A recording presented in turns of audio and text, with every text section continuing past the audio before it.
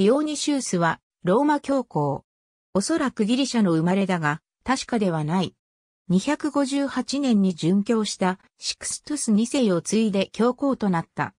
キリスト教徒が直面していた迫害によって、新教皇の選出は困難だったため、教皇座は1年近く空席になっていた。迫害が収まり始めると、ディオニシウスはローマ教皇に就いた。迫害を主導した皇帝、ウアレリアヌスは、ペルシアのシャープール一世に捕らえられ260年に殺された。新皇帝ガリエヌスは、新皇官用令を発し、迫害を終わらせ、教会を合法化した。ディオニシウスは、混乱に陥っていたローマ教会の再建を背負った。サベリウス主義に関して、サベリウスの教理キュレナイカ地方で論争が生じ、サベリウス派と反サベリウス派の双方がアレクサンドリア司教ディオニュシオスに訴えを起こした。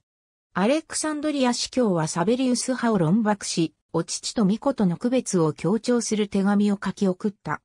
これを受け取ったキュレナイカの人々は、ローマ司教のディオニシウスに、アレクサンドリア司教ディオニュシオスを訴えた。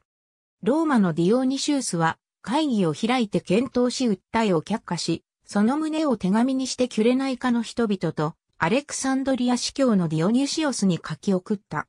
ディオニシウスは、ゴート人の襲撃により荒廃したカッパドキアの教会に多額の金を送り、教会を再建させ捕虜の身の代金を払った。303年まで続く信仰官用令によって、教会は秩序と平和が保たれ、ディオニシウスは殉教せずに死んだ、最初の教皇となった。ありがとうございます。